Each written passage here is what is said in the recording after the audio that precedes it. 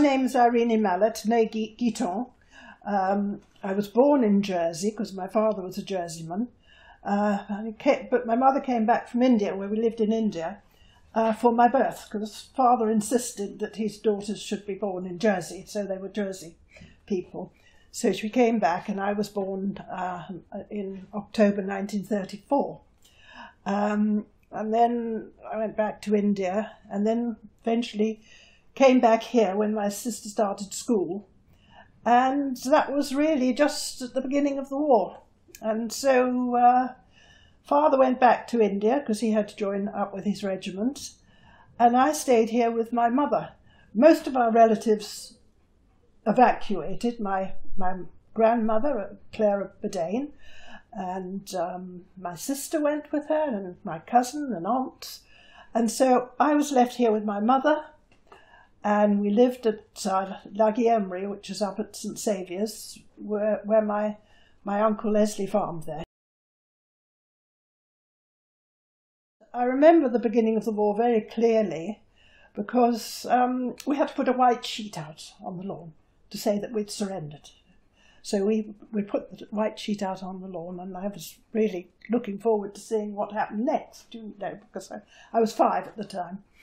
And, uh, and a few days after, the, the Germans landed, and it was really a sort of disastrous month for the whole of Jersey. And my occupation began quite literally with a bang. I was five years old, and my mother and George, who would become my stepfather, decided to take me to the Forum Cinema to see The Wizard of Oz.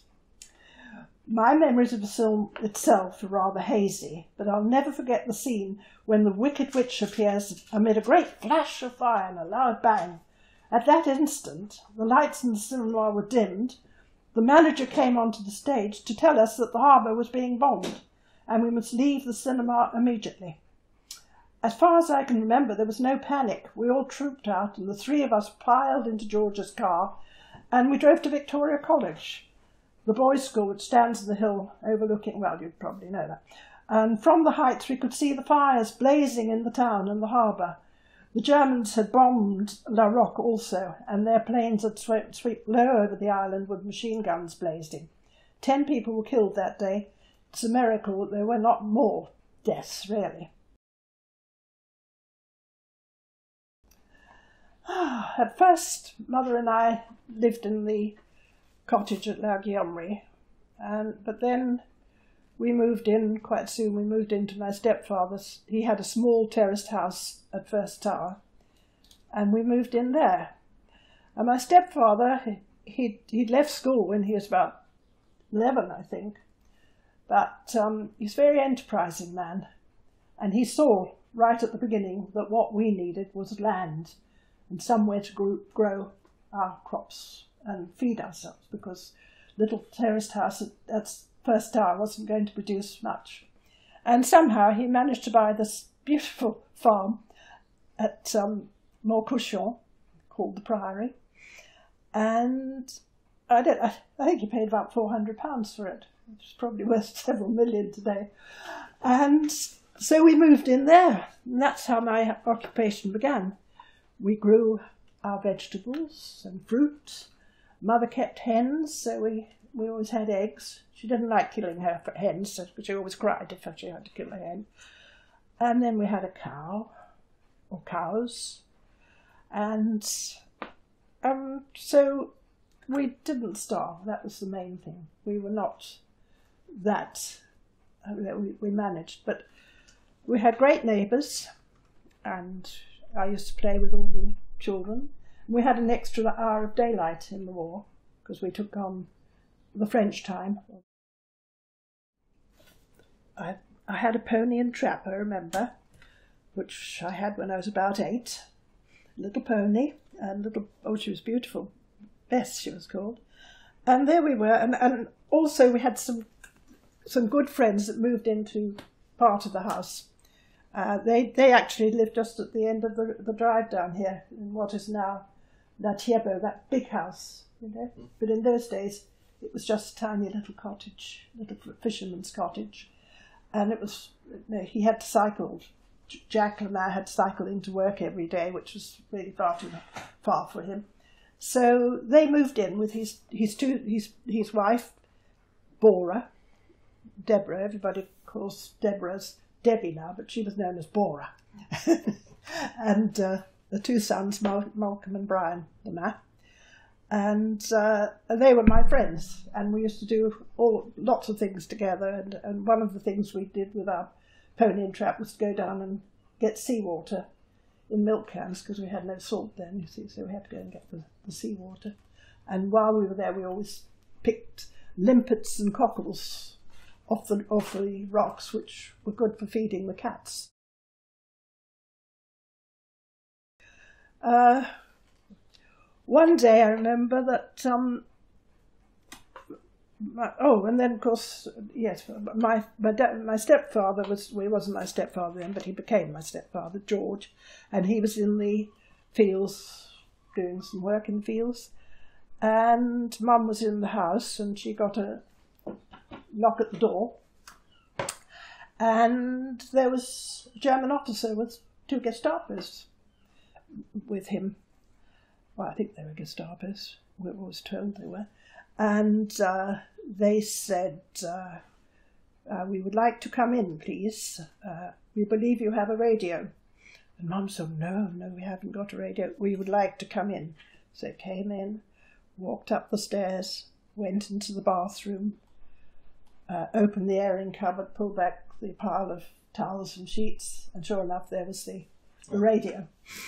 So they said, I am very sorry you have bad friends. That was what the officer said to my mum. So obviously somebody had told them exactly where the radio was, and that was.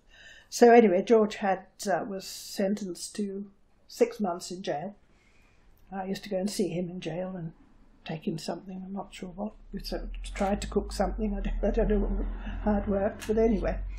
Uh, and he was very lucky that he wasn't deported like most most of the people were. I think the reason was that the the harvest was due to be brought in, and we had quite a lot of wheat, and it was very important to get the harvest in. And so he wasn't the only um, uh, the only farmer who was released from from prison, but he was released. So I think he served about four months altogether. He was very lucky. He wasn't like the the Painter family, for instance, and all the other various people who were sent off to, to Germany or France and never seen again. You know. D-Day was a great day. We we were down at Millbrook, I remember, we and we saw all these lights flashing, and uh, and it was I, I didn't quite know why. It seemed to be over, over from Millbrook, looking out there, we could see lights flashing. I'm not quite sure what that would be because it wasn't St Malo or the Normandy beaches, was it? It was over from the Minkies, but but anyway, we could see these lights flashing. I don't know really why. And uh, and then we were all great excitement and listening to uh, news and rumours were abounded. there was all rumours. Have you heard such and such thing? Yes. And I suppose we didn't have a radio then because it had been confiscated.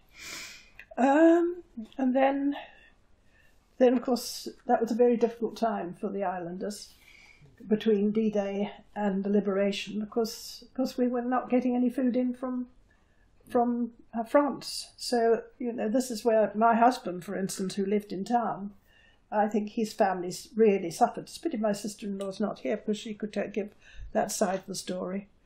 And we used to have all sorts of people would come up to us to get eggs and anything, including my my grandfather. Well, he was married to my grandmother and and grandmother went away, and uh, and he used to come up on his bicycle to get eggs and anything that he could, and we would give give that to him. Although although he wasn't the most favourite person in our family, but um, but you know, he, we kept on reasonably good terms and um, helped him out where we could.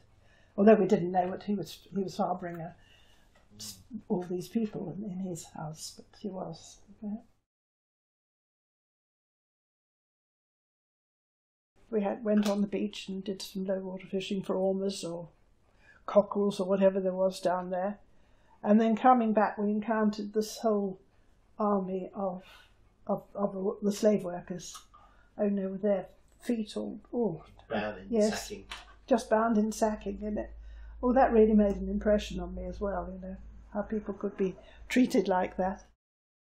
Oh, the great thing, of course, then was the the Red Cross parcels, which everybody who was here during the war remembers the Red Cross parcels. They were the great big thing, you know. And um, so we went down with our hand carts and pushchairs and everything else that you could find, and and got our our, our parcels. We had a parcel each, I think.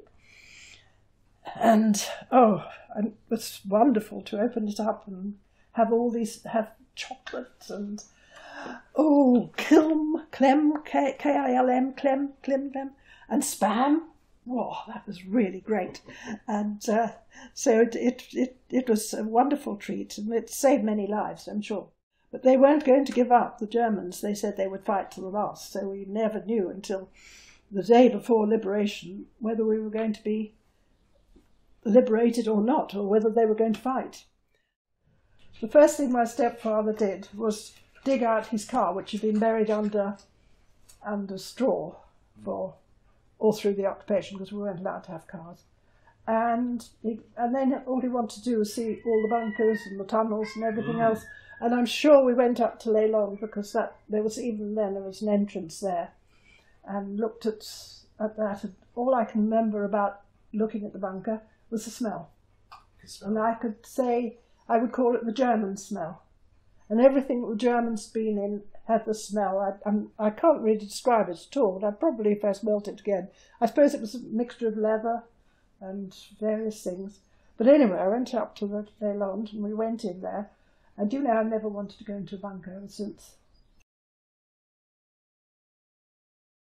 Funnily enough, you know, people say, oh, what a relief it must have been to you. And of course, it was in a way, but I did notice the day of the liberation, we'd been all so close. At the minute the occupation finished, somehow everybody went back to their own houses and continued their life. And the neighbour, that lovely neighbourhood feeling went almost immediately. I'm sure for most people it was probably such a great relief. For me, I missed it. I missed that, that camaraderie and that feeling of being together.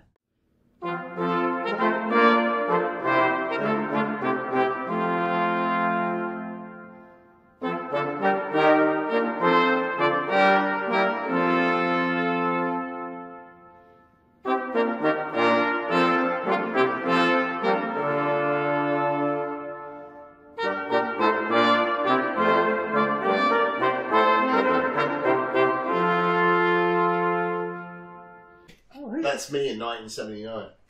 Oh, what a lovely lad. Hey, we're interviewing her, not you, Tony. Yeah. yeah so you were interested even then?